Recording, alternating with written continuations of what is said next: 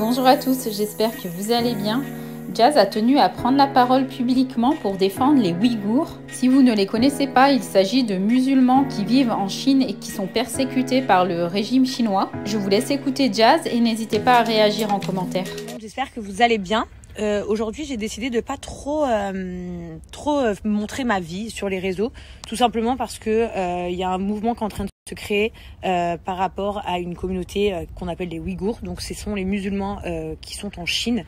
qui, ça ne date pas d'aujourd'hui, ça ne date pas d'hier, mais il y a un gros mouvement là médiatique et du coup, je soutiens cette cause à 100%. Pour ceux qui ne savent pas ce que c'est, en gros, c'est, on va se parler cru, hein, ce sont des personnes en Chine qui estiment que les musulmans euh, ne sont pas des humains en fait visiblement parce que on les euh, entre guillemets moi j'appelle ça de la séquestration on les enferme et on leur bande les yeux au sol euh, on, on les on interdit les femmes de se reproduire en fait pas pour ne pas avoir d'enfants tout simplement pour ne pas créer de nouveaux enfants musulmans euh, donc ça s'appelle de la torture pour moi mais au-delà de ça, ça s'appelle du racisme incroyable.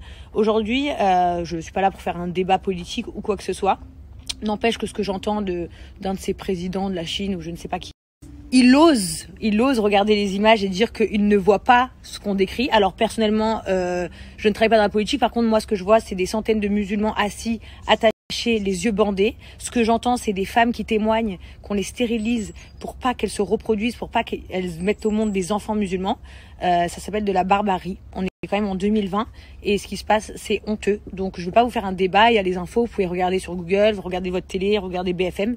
Par contre, ce que je demande aujourd'hui à tous les musulmans et toutes les personnes qui ne sont pas musulmans, parce que là, ce n'est pas une cause de religion là, c'est une cause humaine en fait. Nous sommes tous des humains et nous avons tous le droit d'avoir nos croyances et nous avons tous le droit de se reproduire. Et en fait, ce qu'ils font euh, ces gens-là là-bas, euh, c'est encore presque pire, si je peux me permettre, que, euh, que certaines communautés qui se proclament terroristes ou qui se pro proclament opportunistes ou ce que vous voulez en fait. Là, c'est très très très très grave. Donc il faudrait qu'il y ait un mouvement solide, un mouvement mondial, que l'on soit musulman ou pas, qu'on soit une femme ou un homme, qu'on soit jeune ou ancien. Euh, ce qui se passe, ça s'appelle de la torture. Imaginez-vous si euh, l'un de ces hommes assis par terre était euh, quelqu'un de votre famille, un ami, un voisin. Si une de ces femmes qui souhaitait avoir un enfant au monde, eh ben non, on, on lui mettait un stérilet pour pas qu'elle puisse avoir d'enfant. Enfin, c'est de la barbarie. Qu'est-ce que c'est ça? Comment ça peut même exister en 2020 Et on peut changer les choses. Euh, on l'a bien vu avec tous les problèmes euh, raciaux qu'il y a eu il y a pas très longtemps avec la police, George Floyd, etc. Il y a eu un mouvement mondial. Toutes les personnes influentes en ont parlé. Toutes les personnes que vous êtes, les personnes sublimes que vous êtes, en ont parlé. Et ça a changé les choses, les amis. Vous avez réussi à changer les choses. Tous ensemble, on a réussi à changer des choses. Alors oui, dans la vie, tout le monde n'est pas d'accord. Tout le monde n'a pas les mêmes visions. Mais par contre, il y a une chose qui est interdite en fait. Personne personne, je dis bien personne, n'est inférieur à qui que ce soit.